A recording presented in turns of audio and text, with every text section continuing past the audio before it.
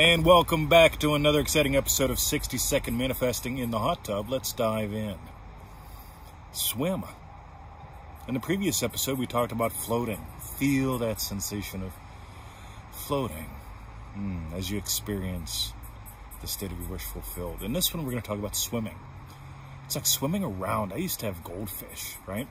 And I'd swim around in their little bowl and then I got him a bigger tank, and I'd swim around in their, in their, in their bigger tank, and then I got him a bigger tank, and I'd just swim around and explore. You remember when Neville got out of the army? He explored his apartment back home while laying in his bunk in the army. And he explored his apartment back home to the point where his commanding officer said, Neville, go home. Here's your honorable discharge. And remember, that's what got him to become a citizen of the United States. Okay? So swim around inside your wish fulfilled. Explore it a little bit to the point where you know what it's like to feel at home.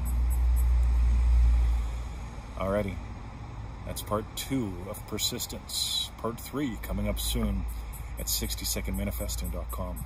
See ya.